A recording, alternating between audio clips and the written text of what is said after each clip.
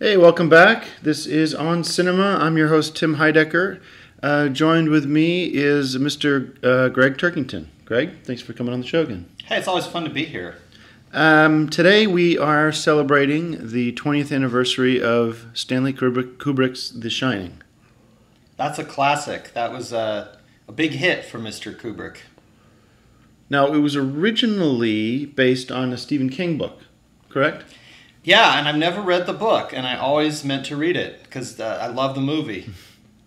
Yeah. Um, well, you have Jack Nicholson and um, Shelley Duvall and um, And the Scatman. Scatman Crothers. Crothers. Right. And uh, it's a chilling, you know, I guess you could call it a horror movie or a thriller.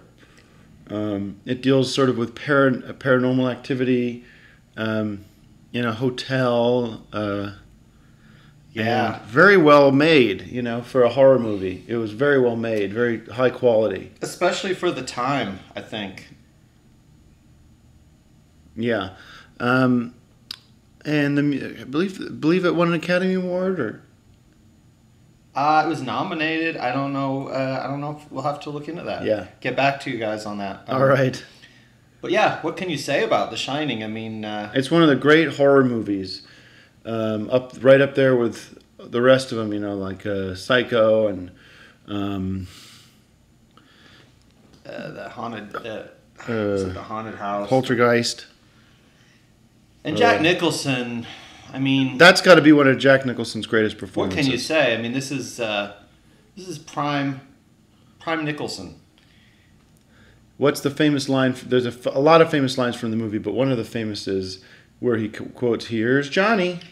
And of course, Johnny Carson at the time was also very popular. Was at the height of his And- and, success. uh, be interesting to know if uh, if they went on the show to promote this movie. All right. Well, thanks for talking to me about Stanley Kubrick's The Shining, and uh, we'll talk to you next time. Thanks.